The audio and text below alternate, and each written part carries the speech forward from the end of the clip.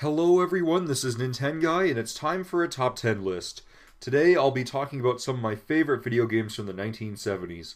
Keep in mind, I never existed during that time, so I can't really tell you what gaming was like back then.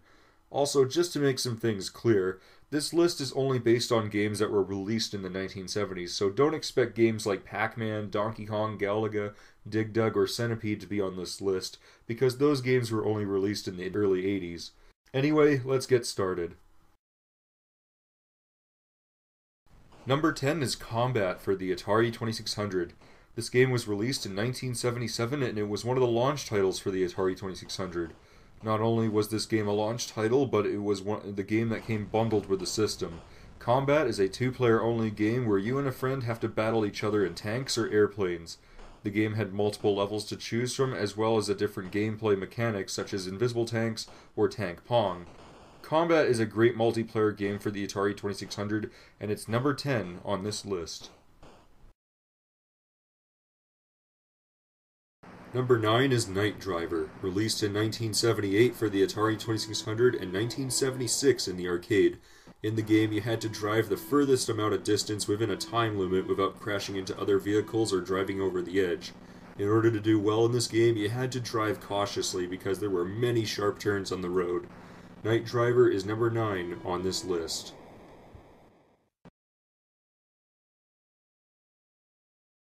Number 8 is Air Sea Battle for the Atari 2600. Just like Combat, this game was released in 1977 and it was also a launch title. In this game, you and a friend take control of a battleship and, you, and it's your job to shoot down as many aircraft targets as you can while trying to score more points than your opponent. Air Sea Battle is a fun and simplistic multiplayer game, and that is why it is number 8 on this list.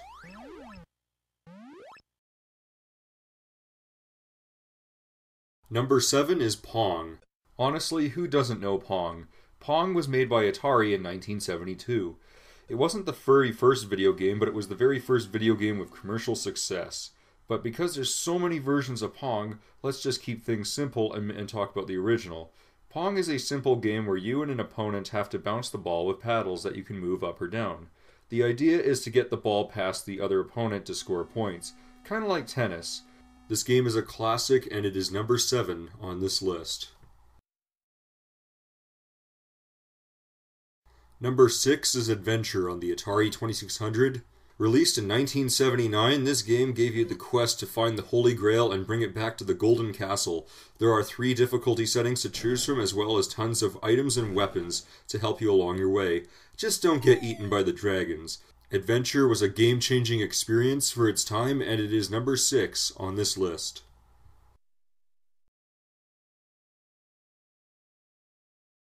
Number 5 is Dodge'em on the Atari 2600. Released in 1978, this game was very fast paced.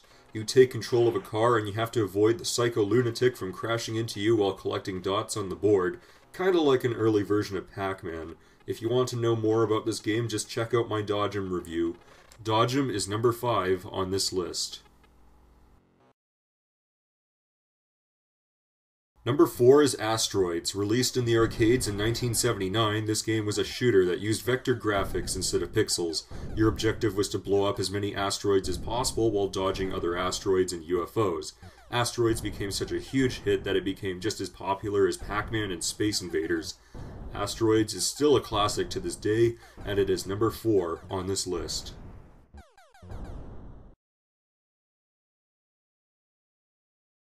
Number 3 is the Atari 2600 version of Super Breakout, released in 1978 for both the home console and the arcade. This version, in my opinion, was a bit better because there were more levels and more different game variations than the arcade version. The game is a sequel to the original Breakout, released in 1976. Your objective is to hit the blocks by bouncing a ball with a paddle that moves left and right. If you drop the ball, you lose a life. The game became so popular that there are many different clones of this game today, such as Arkanoid, Alleyway, and Kirby's Block Ball. The Atari 2600 version of Super Breakout is number 3 on this list.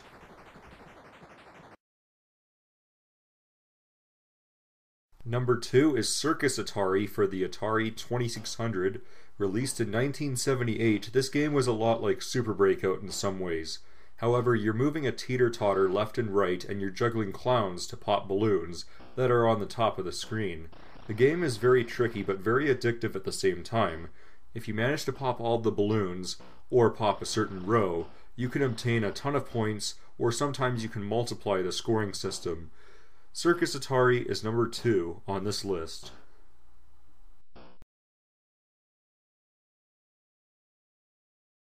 Number one is the Atari 2600 version of Space Invaders. Don't get me wrong, I like the original arcade version of Space Invaders, but just like Super Breakout, I do prefer the Atari 2600 version over the arcade version. Both versions of Space Invaders were released in 1978.